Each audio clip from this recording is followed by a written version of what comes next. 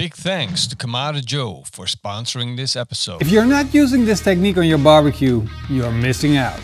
I'm not kidding. The first time that I used this technique on my barbecue, I finally got the result that I was looking for. I've used wok burners in the past, and when you use the specific wok burners that have enough BTUs to blow a hole in your pan, then you know you can create the flavors that you need for wok flavors. You must have been to one of those restaurants where they served food out of a wok and they had this specific flavor that you only get in these restaurants. Well, you can do that at home, just as long as you're willing to pull that thing out of the garage, fire it up, and put a wok pan on it. For the people that don't know what woking is, it involves high temperatures and a carbon pan that is super, super non-stick, super smooth. You move it around, food gets cooked in it, you use these devices, turn on the heat, get crazy, and get cooking.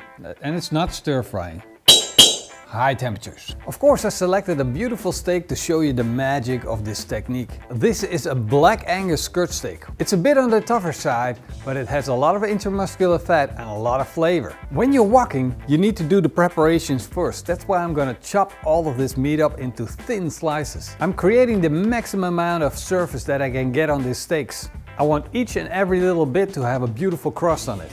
And I also prepared all of the ingredients that I'm gonna need for my sauce and for my noodle dish. Now we can heat up our wok and start cooking. And this is my favorite grill to wok on.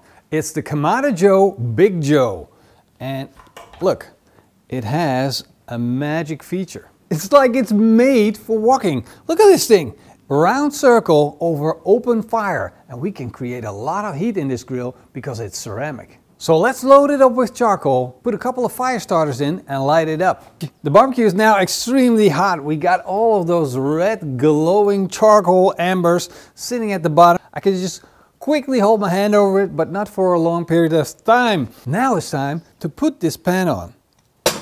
You can see that the pan starts smoking immediately, which means the fire is crazy hot. I'm gonna burn off the old seasoning and put some new seasoning on. This way I'm sure that I got the perfect smooth wok pan. Now we're going to fry our steak. So I'm gonna put in three tablespoons of oil and then add the skirt steak. I'm now woking my steaks, but I don't want to put all the steaks in, so I'm gonna do batches. That way I still have enough energy from the fire Got a beautiful crust on my steak while I'm cooking them really, really quick.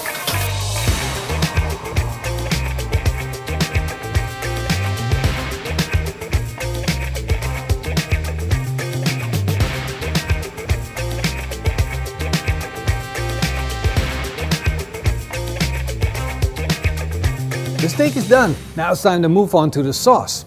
And Lee Kum Kee has one of the best sauces you can find and this is the black bean sauce. But my favorite is the black pepper sauce. And the problem with that is that it isn't always available. So I'm gonna show you how you can make your own at home and even better. First step is to toast black peppercorns and this is 5 tablespoons of black peppercorns. Toasting is super important. It will make the pepper more mild and more flavorful. Next I'm going to put in 3 tablespoons of peanut oil to fry my onions in, followed by the garlic. Make sure you don't burn them, you just need to soften them up. Now I'm gonna add 3 tablespoons of tomato puree paste. I'm going to let that fry up and I want it to get a little darker but I'm not going to let it burn. It will make the tomatoes more sweet. Once it got that nice dark red color I'm going to add 3 cups of chicken broth. Now it's turning into a sauce. Now I'm gonna add a tablespoon of Worcester sauce, a tablespoon of soy sauce and 4 tablespoons of sweet soy sauce. I'm gonna add the ground black pepper back in and our sauce is done. Look at that color that we just created. A beautiful sauce, nice and thick. Oh, doesn't that look beautiful? Of course, I need to try this to make sure it's the right consistency and the right quality. Mm. That with one freaking amazing delicious black pepper sauce.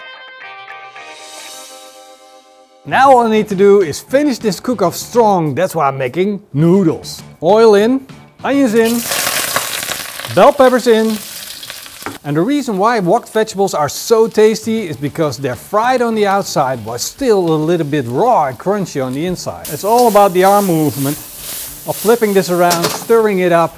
Now I'm gonna add meat. My homemade black pepper sauce, stir that up. And now just a splash of water to get things steaming. A little bit of homemade noodles, and then you're done.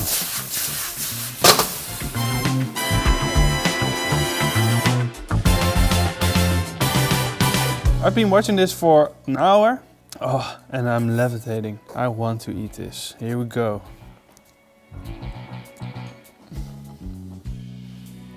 Two things. Black pepper sauce, wok technique. That stands out in this dish. The flavor that I got right here is the flavor that you get from this technique. Of course, the black pepper sauce is freaking delicious, but the technique puts the flavor on the food. Hmm. Nothing beats the wok. Nothing. Come at us with a different technique that beats the wok. I'm sorry. You can grill, you can smoke, you can sear, you can freeze your steak, you can dry age it. But the wok never goes. I don't know. You want everything out of the wok, not just the meat. It's the veggies and the noodles. You all want it together. It's beautiful. It is beautiful, right? I know. You should be. You could be an Asian dog. The dog is not gonna be Asian because the food, you're not, you're not gonna be Asian either. Why? Yeah, that's a want good to. question. Yeah, I want to be. It actually can be. If I want to be Asian, I can be Asian. That's true.